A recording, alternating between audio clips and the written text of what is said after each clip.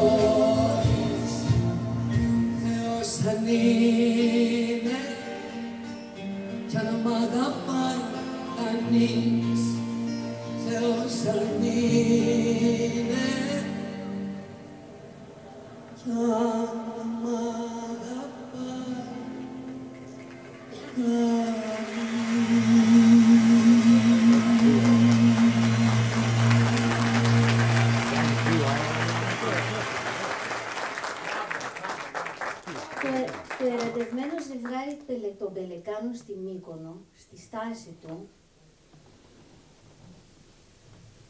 έκανε ένα αυγό. Αποχαιρέτησαν το Σμήνος που έπρεπε να φύγει, μένοντας εκεί να το φροντίσουν και να το ζεστάνουν. Όταν μια μέρα το κέλυφος ράγισε. Ένα μικρό ράμφος τρυπώντας το πρόβαλε. Οι δύο γονείς, θαυμάζοντάς το, έλεγαν και ξανάλαγαν ότι η πλάση δεν είχε κάνει ωραιότερο πλάσμα από αυτό και η ατμόσφαιρα γέμιζε από αγάπη και τα άσπρα του φτερά γινόντουσαν ροζ. Σκρου σκρου, έκανε συνέχεια ο μικρός πελεκάνος, κοιτώντας το έντονο χρώμα και το φως του ουρανού και προσπαθούσε να ξαναγυρίσει στο κέλυφος του αυγού γιατί ένα αεράκι του ανακάτευε νοχτηλετικά τις φτερούγες. Άρχισε μια θεομηνία απειλητικά. Κύματα σηκώθηκαν. Οι γονείς του έσκυβαν από πάνω του, προσπαθώντας να τον προστατεύσουν. Ο ήλιος έδιε. Με μιας σκοτίνιασε. Ένιωθε κρύο. Ακούγε το βορειά τα μεσάνυχτα. Και αποκοιμήθηκε εξαντλημένος. Το πρωί άνοιξε τα μάτια του. Αντίκρισε το απέραντο γαλάζιο, τα σπερμένα νησιά. Φώναξε τον μπαμπά και τη μαμά του, αλλά ούτε απάντηση πήρε, ούτε φάνηκε κανείς. Το βράδυ πάλι άρχισε μια μεγάλη καταιγίδα. Ο Θεόσταλτος Πελεκάνος προσπαθούσε να μεγαλώσει, έχοντας αποκριτήσει τα δεύτερα λευκά κυρός φτερά του, να μάθει να πετά. Μα δεν ήταν κανείς εκεί για να του δείξει. Άρχισε να κλαίει. Οι γονείς του είχαν χαθεί, μάλλον χτυπημένοι στα κακοτράχαλα βράχια του νησιού. Σαν κόπασε λίγο η τριχημία, κατά το πρωί άκουσαν το κλάμα του δύο ψαράδες, ο Θοδωρής και ο Αντώνης. Μάζεψαν το πελιγωμένο πελεκανάκι και το πήραν μαζί τους. Σαν γύρισαν στο λιμάνι της Μικόνου, ο κόσμος που περίμενε να αγοράσει ψάρια στην μπάνκα του λιμανιού, τα έχασε όταν αντί για ψάρια κρατούσαν στην αγκαλιά ένα παράξενο πουλί. Το ακούμπησαν στο πλακόστρο το γυαλό και έκανε μία, δύο πλατιές πατημασιές. Βλέποντας επιτέλους κόσμο γύρω του, ευτυχισμένο, ξέχασε τον πόνο και τις πληγές του και άνοιξε διάπλατα το στόμα ράμφος του, αφήνοντας ένα παράξενο ήχο, κάτι σαν καραμούζα, και όλοι γέλασαν. Το γέλιο μεταδόθηκε από τον ένα στον άλλο και στο τέλος σε όλο το νησί. Ο Πελεκάνος ένιωσε ασφάλεια, άρχισε να προχωρά ανάμεσά τους. Τον ονόμασαν Πέτρο και σύντομα έκλειψε τις καρδιές όλων. Εκείνος δέθηκε με όλη του την ψυχή με τους ανθρώπους του νησιού για πάντα. Η γειτονιά του έμελε να γίνει η γειτονιά των ψαράδων στην κάτω χώρα της Μικόνου, στο μικρό μόλο και την εκκλησιά του Αϊ Νικόλα της Καδένας του Γυαλού. Ο Πέτρος τα πρωινά περίμενε τις βάρκες και τα καΐκια να γυρίσουν. Οι ψαράδες τον χαϊδολογούσαν και του πέταγαν ψάρια. Τα έπιανε στον αέρα με το ράμφος του, έκαναν μια στάση στο θύλακά του, τα κατάπινε γρήγορα. Έτσι έκανε και τη βόλτα του στα καφενεία. Γυρνούσε τις γειτονιές, τα παιδιά, κυνηγούσε τις κοπέλες που έπαιρναν νερό από τα τρία πηγάδια, ατένιζε τους ανεμόμυλους, παίρναγε από τα πρώτα τουριστικά μαγαζιά σαν επιθεωρητής, χάζευε τις γυναίκες που έπλεκαν και κετούσαν και υφαίναν, και άλλες στα σπίτια τους μαγείρευαν και έφτιαχναν μυρωδάτες κρεμμυδόπιτες. Οι χωριανές κατέβαζαν την πραμάτια τους με καλάθια σε γαϊδάρους. Πέταγε ψηλά στον ουρανό και έπεφτε απότομα, κάνοντας αεροπορικούς ελιγμούς στη θάλασσα και έπιανε τα ψάρια με το ράμφος του.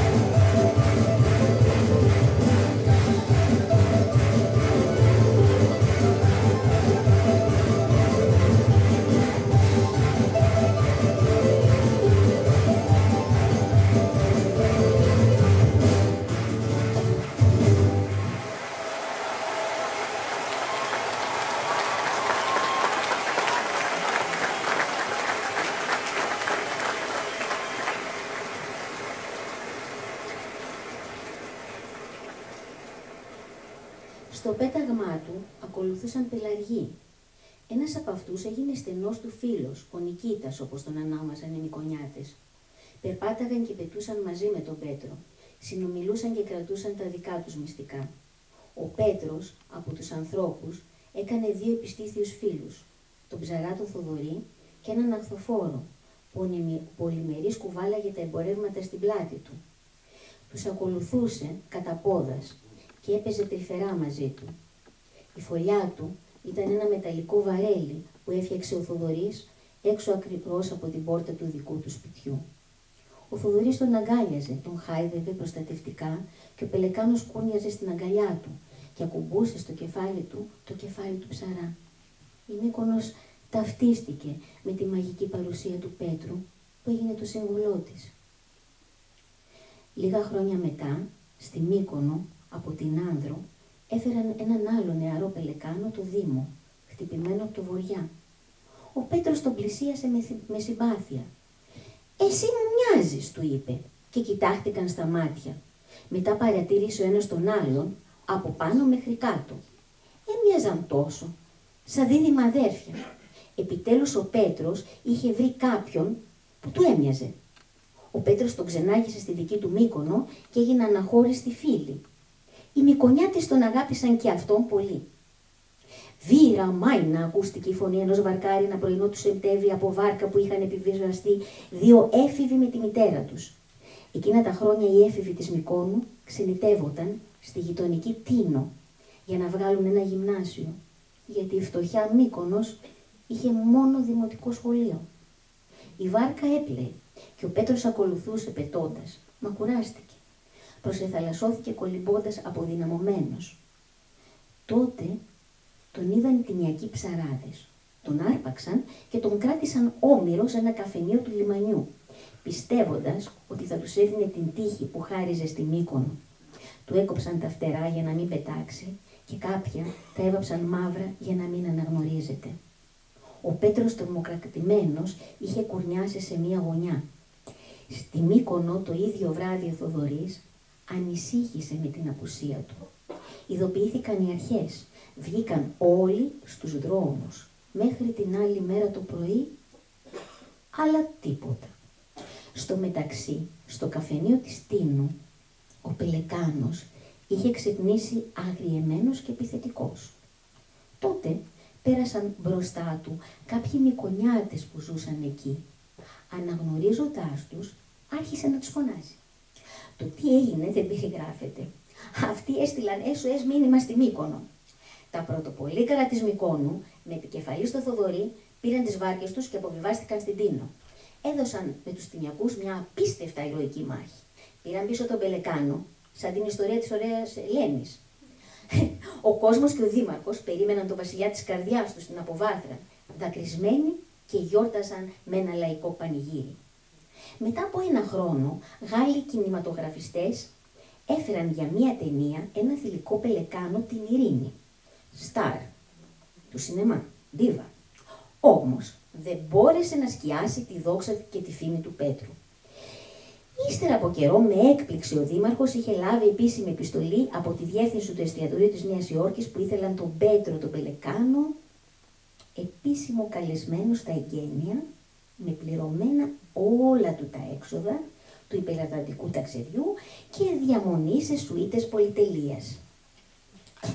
Μα πώς, ε, ψέλισε ο Δήμαρχος, ο Πέτρος τους να πάει ένα τόσο μακρύ ταξίδι στην Αμερική; Τη φαντασία του διέκοψε ο διευθυντής του ΟΤΕ που μπήκε χωρίς να χτυπήσει. Κύριε Δήμαρχε, είπε λαχανιασμένα, ένα τηλεγράφημα από τον Υπουργό Τουρισμού για εσά. Επίγον. Ήταν ένα τηλεγράφημα τελεσίγραφο από τον Υπουργό, όπου έγραφε για τα ωφέλη της ανάπτυξης του τουρισμού της χώρας έπρεπε η Μύκονος να δώσει το παρόν στη Νέα Υόρκη. Τις επόμενες μέρες, όλη η Μύκονος έζησε μέσα στον πυρετό της προετοιμασίας ετοίμασαν ένα τεράστιο ξύλινο κουτί που μέσα σε αυτό θα ταξίδευε ο Πελεκάνος. Ο Πέτρος και ο Δήμος παρακολουθούσαν την κίνηση και συζητούσαν. Αχ, Δήμο μου, καλά ακούγονται όλα αυτά, αλλά δεν θα ξεχάσω το πάθημά μου στην Τίνο. Αν απάντησε ο Δήμος και του ψιθύρισε κάτι στο αυτί. Ήρθε η πολυπόθητη μέρα.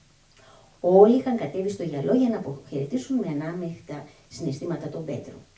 Ο Πελεκάνος καμερωτός μπήκε στο κυβότιο και τον φόρτωσαν στο πλοίο της γραμμής. Ο κόσμος κουνούσε τα μαντήλια. Οι μικονιάτες γυρίζοντας στα σπίτια τους το βράδυ είδαν τον Πελεκάνο να πηγαίνει να κοιμηθεί στο βαρέλι του. Ο Δήμος, σαν σωσίας πολιτικού προσώπου, είχε πάρει τη θέση του, αλλά δεν μίλησε κανείς. Ο Δήμος έφτασε στην Αμερική. Σαν ε, άνοιξε το κουτί, βγήκε καμαρωτός ο Πελεκάνος. Κανείς εκτός από τον Δήμαρχο δεν κατάλαβε τη διαφορά. Με μεγάλες τιμές έκανε τα εγγένεια του εστιατηρίου και έκαναν τουρ στην ελληνική ομογένεια της Αμερικής. Φωτογραφίες τους έκαναν το γύρο του κόσμου, κάνοντας τη Μύκονο κέντρο του σύγχρονου κόσμου. Σε ένα τηλεπαιχνίδι στην Αμερική, σαν ρώτησαν κάποιον πού είναι η Ελλάδα, ο ερωτώμενος απάντησε κάπου κοντά στη Μύκονο. Η φράση έμεινε από τις πλέον γνωστές στον κόσμο και επέστρεψε στην Ελλάδα με τιμές πρεσβευτή. Ένα χρόνο μετά οι Μικονιάτες αποφάσισαν να παντρέψουν τον Πέτρο με την Ειρήνη, που αν και ντίβα δεν είχε καλύτερη επιλογή. Πιο γρήγορα προξενιά δεν είχαν γίνει στο νησί. Με παπά και κουμπάρο του Δήμου. Ο γαμπρός και η νύφη είχαν στέφανα πλεγμένα με λουλούδια και κοχύλια. Στην ειρήνη είχαν κρεμάσει και μια ταμπέλα που έγραφε Welcome. Οι καλεσμένοι τσούγκρισαν τα ποτήρια με την ευχή να μαζίσουν και καλούς απογόνους. Τα χρόνια που ήρθαν έστεψαν την Μύκονο με δόξα. Οι διάσημοι και πόνιμοι άρχισαν να έρχονται από όλα τα μέρη της γης. Οι μόδες άλλαζαν